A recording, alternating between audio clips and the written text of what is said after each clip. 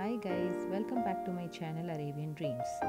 Today's video will just be a short vlog and this is my first vlog on my channel.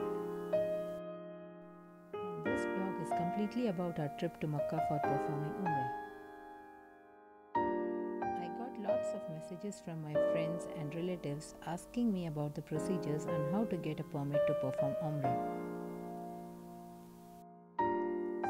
This vlog, I thought to share all the information that I know. We actually applied for Umrah through Eatmarna app last month and we got the date for performing Umrah on 14th of November from 12 am to 3 am. So before applying through Eatmarna app, you need to register yourself individually through Tawakkalna app and then with any one person's Absher account, you can register through Eatmarna app for your friends or your family members, those who are staying here in Saudi Arabia. And many of them were asking me how to get a permit to perform Umrah if they don't have an Absher account. Here in Saudi Arabia, it's not possible to open an Absher account if you are not working. So for getting permit for a performing Umrah, it's not necessary to have your own Absher account.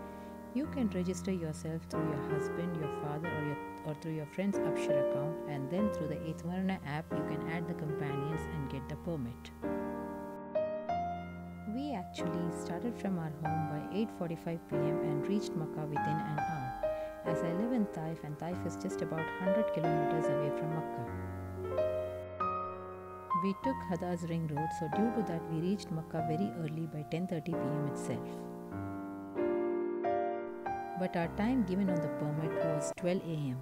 So we thought we have to wait until 12 am to get inside the haram to perform Umrah. We were surprised because they let us inside the haram by 11 pm itself, so we were very happy that we would get an extra time to perform Umrah. I don't know whether if this happens every day or it just happened today. Whatever I'm sharing with you all is just based on my experience because rules can get changed anytime. So we went inside and started performing tawaf. For performing tawaf, it took around 20 minutes as it was not crowded at all.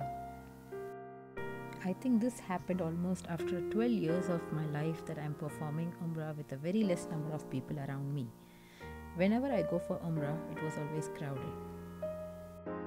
All the security guards, including the male and the female staffs, were very particular about the social distancing. They kept reminding everyone to maintain social distance.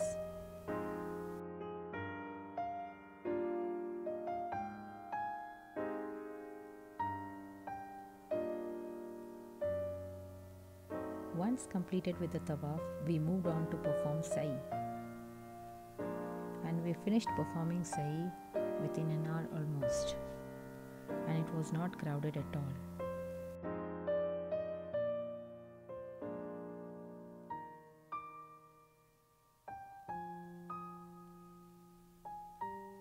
While performing Sa'i, I noticed that they have replaced the normal wheelchairs with the electric carts.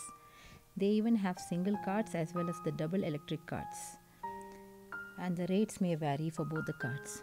When you go to Safa area near to the starting point, you can see the staffs there who can assist you in getting the electric carts for performing Umrah. For single electric cart, if you are performing only Sa'i, the price is 58 riyals, and for performing only Tawaf, it's 58 riyals, and if you are performing full Umrah, it's 115 riyals. And for the double electric carts for performing Sa'i, it's 115 riyals, and for performing Tawaf, it's 115 riyals, and if you wanted to perform one full Umrah, it's it's 230 riyals.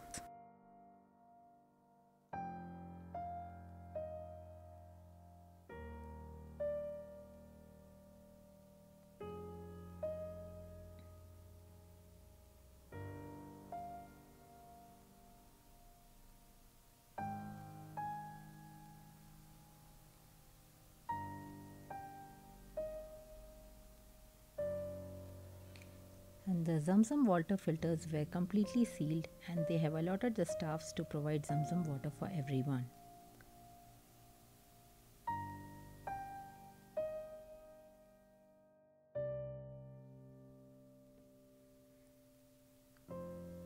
We finished performing Umrah by 1 am itself, so we thought we could perform one tawaf again as we had permit till 3 am.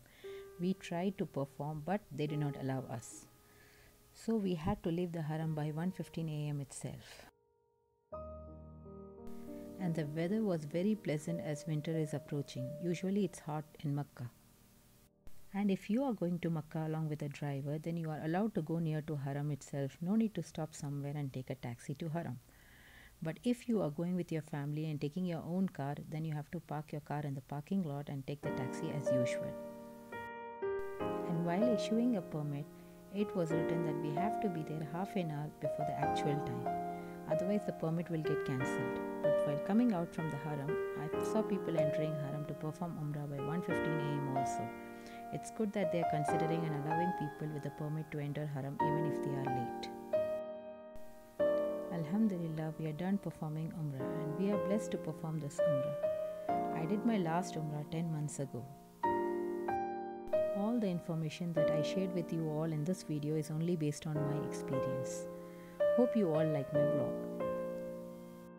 And if you know any other information regarding performing Umrah, do share it on the comment section below so that others may get benefited.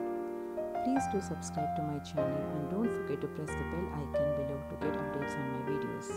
Thank you all for watching.